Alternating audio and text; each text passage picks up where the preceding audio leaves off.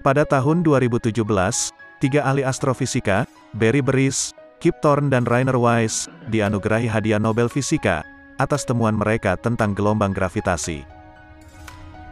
Secara teori, gelombang gravitasi telah diungkapkan oleh Albert Einstein satu abad yang lalu, sebagai bagian dari teori relativitas umum.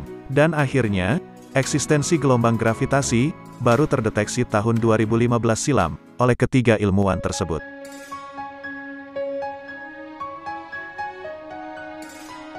Dibanding dengan penghargaan lain, hadiah Nobel kerap disebut penghargaan yang paling bergengsi. Dan orang yang menerima penghargaan Nobel adalah orang-orang terbaik di bidangnya, yang telah berkarya untuk kemajuan ilmu pengetahuan.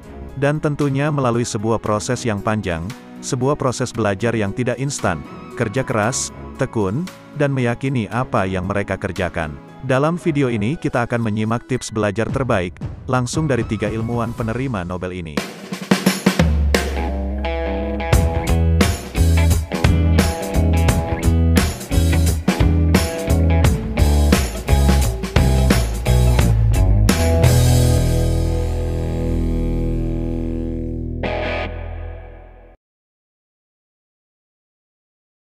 Oh, I have several favorite bits of advice. You have to be willing to, ready to, eager to work very, very hard. There's a quality you shouldn't have a need for uh, instant gratification. Working on something that might be very menial. I'm not talking about doing the floors in the lab. That you do anyway. Maybe you're working on the data analysis or you're helping the person run an apparatus. If you're so oriented around instant gratification, you can't really do uh, the kind of work that's required to do real science. Get to meet some people and work with them. I mean, I'm a strong believer in what's called the apprentice system. I tell this to students over and over again. If you're interested in science, go to college if you want. But don't worry about the courses so much. Sniff around, hunt around, go sniffing at the labs, go sniffing at the places. Talk to graduate students, talk to people who are working on real problems, and see if they'll maybe have a problem that you could work on with them. And you ask a lot of questions, and not so many that you make yourself into a pain in the tuchus. You don't do that. But enough so that you're learning what you need.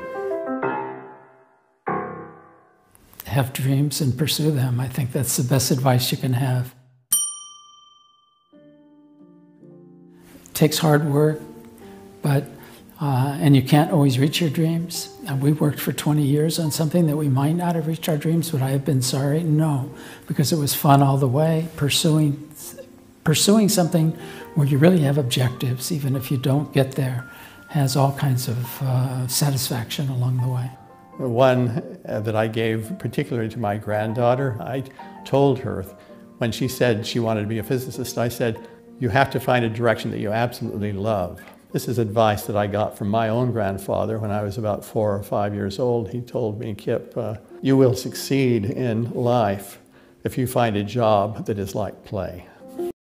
Professor Weiss, Professor Barish, Professor Thorne, you have been awarded the 2017 Nobel Prize for Physics for your decisive contributions to the detector of the Laser Interferometer Gravitational Wave Observatory and for the observation of gravitational waves. On behalf of the Royal Swedish Academy of Sciences, it's my honor and my great pleasure to convey to you our warmest congratulations. I now ask you to step forward to receive your Nobel Prizes from the hands of His Majesty the King.